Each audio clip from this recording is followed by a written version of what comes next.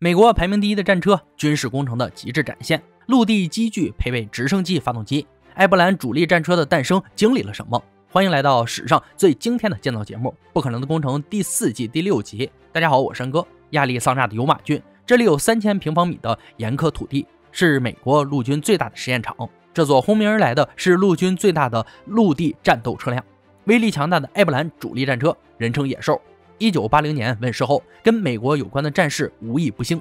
M 一艾伯兰主力战车重量相当于二十头大象，七十吨重。配备涡轮发动机，时速可达七十二公里，搭载四人：指挥官、炮射手和天装手，以及在下方的驾驶。野兽是在俄亥俄州的莱马制造的，需要能执行许多重要任务，在战场上移动，提供精准火力，同时也要保护车上的成员。但要做到这些，必须要先解决一长串的工程挑战。一、行驶性能。战车的设计有三个基本要点：保护机动性和火力。第一次世界大战时，第一款量产战车为马克四型战车，是特里顿、威尔森和瑞比的心血结晶。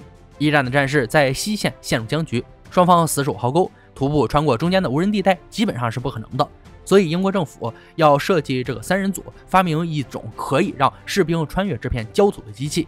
于是这辆英国战车出现了，一台带有履带和装甲的战斗机器，战车时速将近六点五公里，提供后方步兵掩护。直到抵御敌人的阵线，野兽很好的传承了履带这一血统。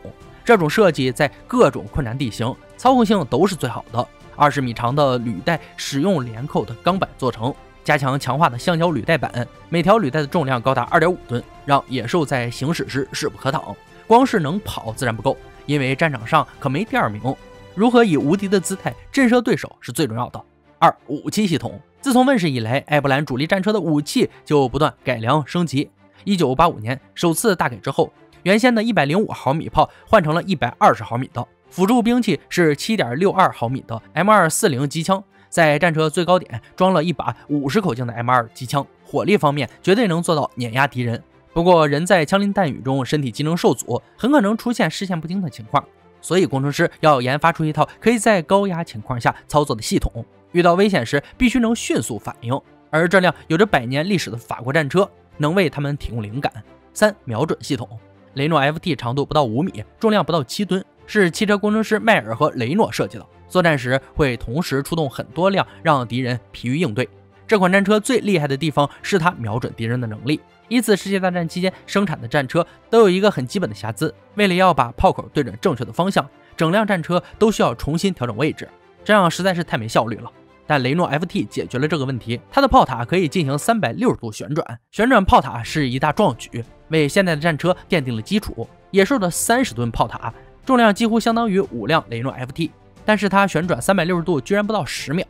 但是最大的不同是，野兽在做目标定位时用的是最先进的光学仪器，独立热观测仪器提供了夜视能力，还能调整聚焦和远近。战车不只是硬体和沉重的金属。还有很多软体、电子仪器和高科技设备，全都连接到炮塔的内部空间。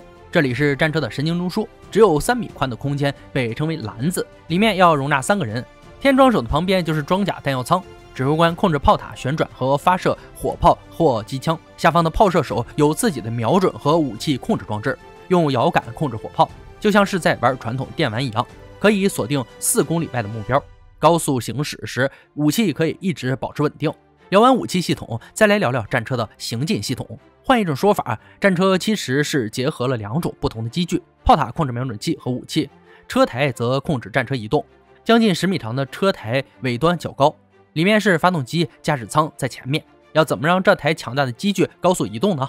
这引发了一个重大的难题：战车需要高速前进的动力，但若发动机太重，又会降低操纵性。设计既轻又强烈的发动机似乎是不可能的任务。要解决这个问题，必须借助前人充满创意的工程发明了。四动力系统提到轻质发动机，就不得不看向直升机。最早的直升机动力来自活塞发动机，跟汽车用的一样。不过随着直升机越来越大，发动机也跟着变大。重量的问题让野心勃勃的设计师伤透脑筋。他们需要一具强大但轻巧的发动机。在一九五零年代的法国，有人提出了完美的解决方案。在波兰出生的洛斯基是一名发动机设计师。他率先把燃气涡轮轴发动机用在直升机上。涡轮轴发动机的关键元素是提供涡轮动力所需的加压空气的压缩机。和推动轴带动旋翼的涡轮机。虽然发动机的重量只有一百四十三公斤，但产生的马力足以达到五百三十匹。智轻、动力又大的涡轮轴发动机，让直升机进入全新的境界。建造埃布兰主力战车的团队要如何利用直升机的发动机呢？很简单，把直升机发动机做成特大号。这台巨大的机器是洛斯基燃气涡轮轴发动机的一千五百匹马力版本。以战车术语来说，就是动力组。一点二五吨重的发动机是庞然大物，但功率重量比恰到好处。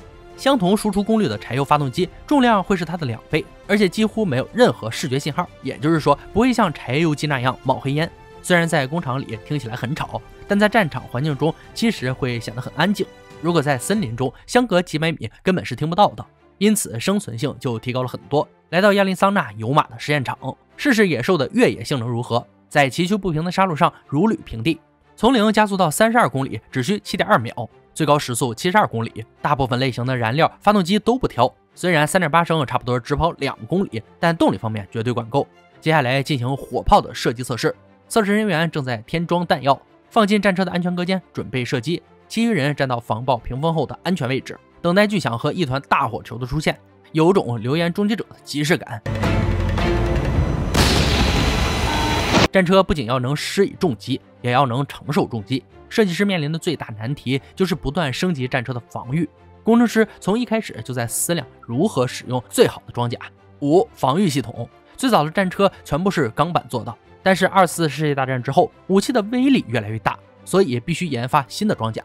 当市面上出现一种新的反战车武器，战车工程师再度感受到压力。一种火箭推进榴弹可以轻松穿透十公分厚的钢板。一九六零年代，德国弹道科学家海尔德。无意中发现了解决之道。他当时正在做实验，对废弃战车激发各种不同弹头，有些炮弹击中炮塔装有残余弹药的地方，导致弹药向外爆开，飞弹常常因此偏转，无法射穿钢板。这项发明让海尔德发明了一种极具革命性的军事硬体——爆炸反应装甲。最上层是很薄的钢板，里面附上一层海绵，后面是一层比较厚的钢板。被击中时，高热的铜金属喷流轻易地击穿最外层。然后引爆内部的高爆炸药，前面的钢板被炸飞，偏转火箭推进榴弹，爆炸性反应装甲的成功，让装甲设计出现了全新的概念，俗称以毒攻毒。建造埃布兰主力战车的团队采用了这种技术，研发出可以加装在战车外壳的爆炸性装甲，被称为 ARAT，装在战车的两侧。典型的箱式装甲装在炮台和炮塔上，然后在车台上加挂一层弧面装甲，跟海尔德当初的发明一样，要是被炸弹击中就会引爆。这是一种很了不起的技术，ARAT 提供了战车在交战时的生存率。埃布兰主力战车是惊奇工程的一大胜利。服役四十年后，这台强大的机具仍然是陆军的王牌。不断精进是一场永不落幕的奋战。为了做出更好的战车，工程师将前人的创新发扬光大，放眼未来，创造了新的性能，让不可能成为了可能。本期不可能的工程到这里就结束了。小伙伴们如果对这方面的内容感兴趣，欢迎关注安哥，我们下期再见。